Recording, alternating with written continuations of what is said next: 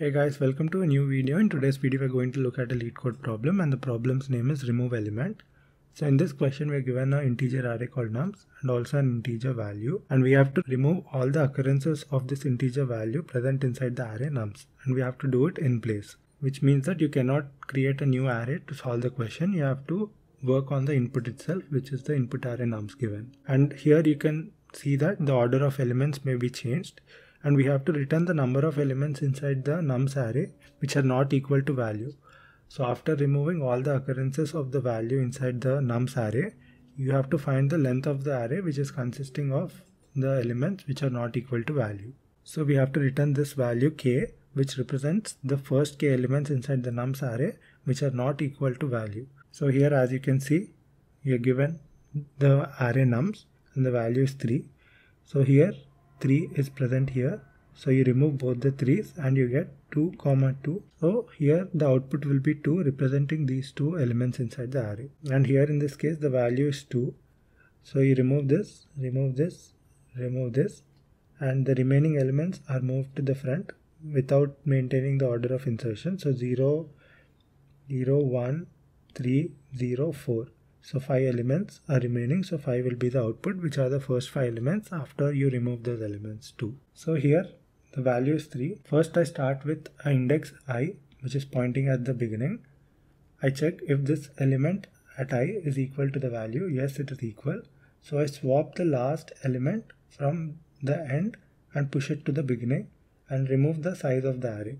So length is initially 4 right. I remove this element because it is equal to num. This 3 will be removed and this 3 will be moved to the front. Now i will still remain the same because we performed the operation. Now again i check if this element is equal to the value. Yes it is equal.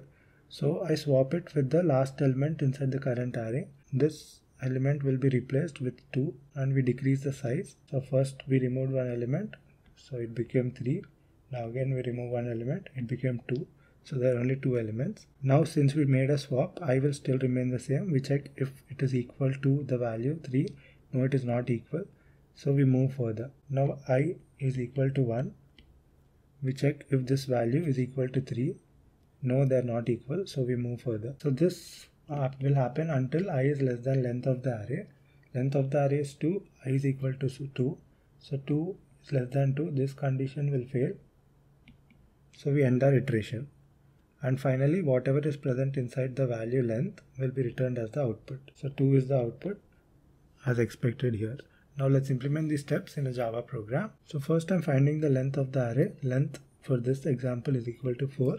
If we take the first example, so it's having 3, 2, 2 and 3 and value is equal to 3 and i is starting at 0 so i is here i is less than 4 0 is less than 4 if that current element 3 is equal to 3 yes. If it is same then replace that element with the last element and decrease length. So this will be 3 will be replaced by 3 and length will be decreased. So 4 will become 3 in the next iteration i will remain the same because we made a swap. So this will be removed from the array because length is now 3 we are only considering till here. We are checking if this element is equal to 3 yes. So again we swap that element with the current element here. So this will become 2 and we decrease length. Length is 2 and we remove that element. Now in the next iteration i is equal to 0 again. 2 we're checking if this 2 is equal to 3 no. So i will become i will move further. So this else block will be executed because 2 is not equal to 3 so i is 1 now since 1 is less than 2 yes we are going to check if 2 is equal to 3 no. So move further. Now i is equal to 2 length is also equal to 2 since 2 is less than 2 this condition fails. You come out of the while loop and return whatever is present inside length. Length contains 2 so 2 will be returned as the output. So the time complexity of this approach is O of n where n is the length of the nums array the space complexity is O of 1 because we're not using any extra space to solve this question. That's it guys. Thank you for watching and I'll see you in the next video.